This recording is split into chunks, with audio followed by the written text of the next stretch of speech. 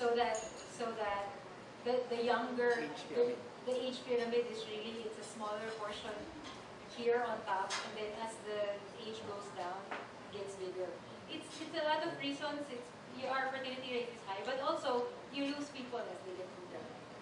So it's not equally distributed across. So, so but, um, but, and then there's the issue also of within the schools, there are overage kids. I don't know how big, it's only small, yeah. Small. Okay. So, uh, yeah, just some responses to what, uh, I'll give the first question to, to you. Uh, although, maybe I, let me just add lang to what you will probably say because I heard the name Ma- uh, Mayor Lisel. She was actually one of the persons who, who helped us in uh, some of our field work. Uh, we did work in Albay, so so some of the things that you mentioned actually we in fact our study team met her. Uh, now regarding the issue of disability, uh, unfortunately, you know, we were only really focusing on the primary things that we could get based on data. Uh, much as we, we, it makes sense that disability is, should be an issue, but unfortunately, we, we can only deal with what we have. And uh, since our surveys, usually our sample surveys, the, the, how the PSA designs it, this is something that was designed from, in fact, from as, as early as 2003. No? It's called the Master Sample of Household Surveys. So they, they try to get something that, uh, that's representative of, of all households in the country as of 2003.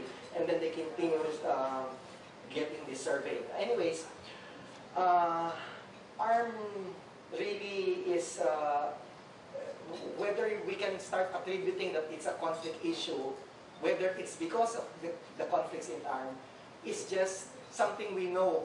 We just know that ARM has the highest incidence generally of OOSC, whether primary, pre-primary, primary, and I think it continuing even now no, from the latest data. So one can probably assume that it's probably because of the conflict issue.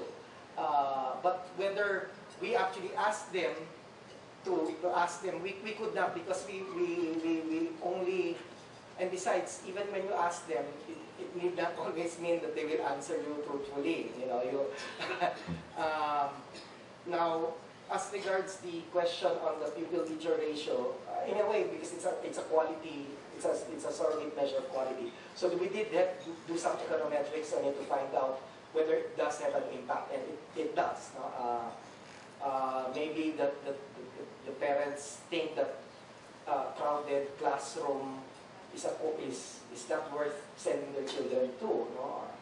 Um, now, whether peer, peer teachers would help, we didn't really, we didn't say it, but certainly I think that might be a, a, a very valued way of making sure that you know, they speak the same language after all. And for me, I remember uh, I was myself doing peer tutoring when I was in high school at LaSalle Mills, by the way. Another LaSalle person.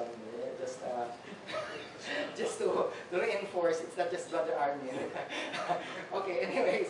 So I, I think that, that, that, that might be a good way of ensuring that, that the, the interest of kids continues. It's not just putting them to school, but making sure that stay in school. The, the peer tutoring is, is an interesting idea. I think it's worth testing maybe in some schools. The issue will always be class size, um, even with peer tutoring, because peer tutoring also requires work from the teacher. So it will require designing the curriculum, seeing what what they're going to do, what are the peers going to do with each other if you pair them up. Uh, so it's, I think, if, and, then, and then if you're dealing with a large class, right, how are they going to, how is the teacher going to manage it? And, and I think we can consider studying it in a sense of, of um, what class sizes, what class size really leads to the best, the highest um, testing scores, since that's the available measure we have. And then for the schools that have a problem, and then maybe test it there and see how it works. And then really look at the field in the ground, how, what, what are we asking the teachers to do? Because the way that we were, when we were observing, when you look at what the teachers do, they're doing a lot. You know, so adding to their work means you're, we can't add something and not take something out. So if we add that task to them, what are they going to sacrifice on? So I think one of the things that, that may be useful as a study is to look at how teachers budget their time. What is their contact hours? What is their work beyond the time that they're in the classroom? Uh, and not just the how, but how do they, not, not just the how they teach, but how much of their time is really spent teaching.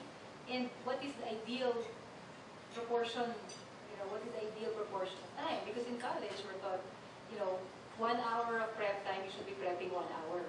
But that assumes a lot of things.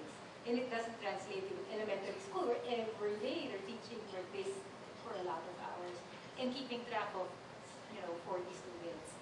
Uh, there are also other types of learning, um, teaching that's out there, styles like the Montessori method, things that can be that can be used as a basis for trying to figure out how we can innovate on teaching so that we can help first help the boys and then cope with crowded schools and all these other things. So, so for instance, in, in Montessori, it's almost like multi-grade schools. You know, it's, it's um, you have children of three different ages together in a class. So what you're doing is you're teaching the older children um, how to be responsible for the younger children. And that making them responsible for the younger children makes them learn more. So there's all these other options for us to examine. But we always have to think about whether it's manageable for the teacher in the school, since the scale of this is so large. It's one thing to do this in a private school with four classrooms and 20 students per class. It's another thing to suggest it to a school with 2,000 students and each class having 50 students. So we have to think about how are we going to split up the schools so that for these particular schools this might be a useful evaluation. On the early pregnancy, that is a question that has always been on my mind. We don't have the data for it. I don't know if in the survey data you will be able to show it, but one of the things that one of the things that really motivated our interest in the boys' performance in school is that we, from an, I did a study for the PCPD that looked at early pregnancy, uh, and one of the things that we were always being that was being explained to us by by the young mothers was they had to drop out of school because they got pregnant. Right? But if you look across the schools, the girls, and you look across the population, women are more highly educated than men.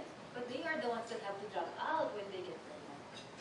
So what's going to happen if you, across the country, you have large, a large portion of the population that is more highly educated, but not economically employed because they are the ones having children and have the burden of teaching the assignments to the children. Uh, pero, pero it should also be of note that when we go to the schools, we notice when the girls drop out because they got pregnant, the guy who got them pregnant also drops out. Because they have to work to sustain their their kid. You know, they're they're not most of the most of the 14 or 13 year olds, sana naman di 13, 15 to 16 year olds who get other, you know, who get a girl who are sexually active and then become pregnant the boy, essentially they get married as far as the community is concerned, mag-asawa sila. You know, they're married. So the, so the man has the responsibility to make sure that he has a job to work and make money and support the child. So the man is also at risk of dropping out.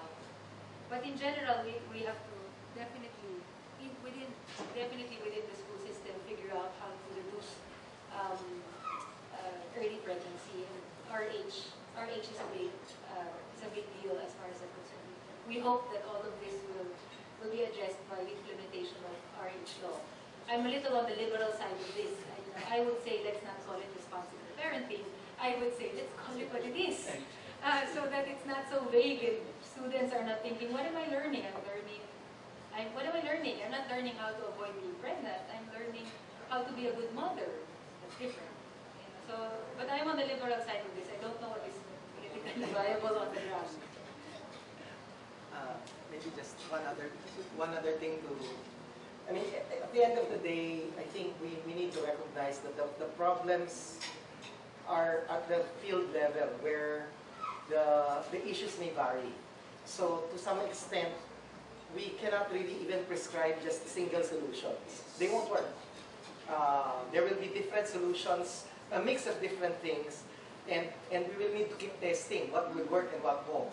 And we will have to, have to also recognize that we will make mistakes in the process because we're all learning how to how to deal with this. Uh, but uh, again, let's let's be positive on the other hand that if you think of what, what has happened in the past five years so far, that we, you know, from the time that we looked at the data 2005 to 2009, and then now the new data available from the PSA plus DECA data, they seem to suggest that there is also a question of really resources. eh?